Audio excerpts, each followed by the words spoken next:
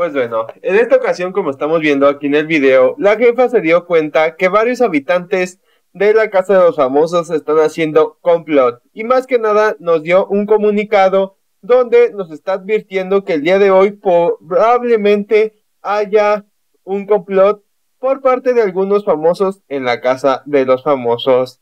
Pero bueno, vamos con el comunicado. La jefa está en Twitter, recuerden que es la jefa TLMD y además, como estamos viendo, dice, los habitantes de Twitter, estoy investigando un posible complot en la casa.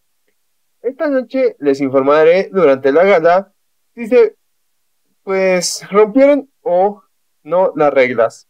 Los espero a las 7 pm por Telemundo.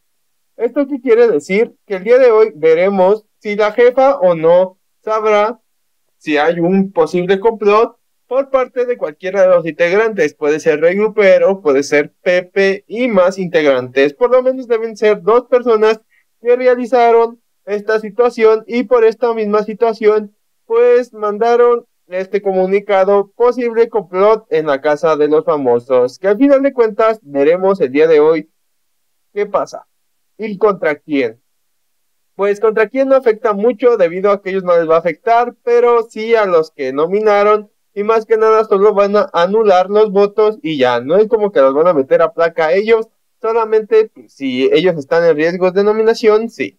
Pero díganme ustedes en todos los comentarios qué opinan. Recuerden que Rey Grupero no puede estar nominado esta semana y pues avanzará a la semana 3 para ver qué sucede en la siguiente semana.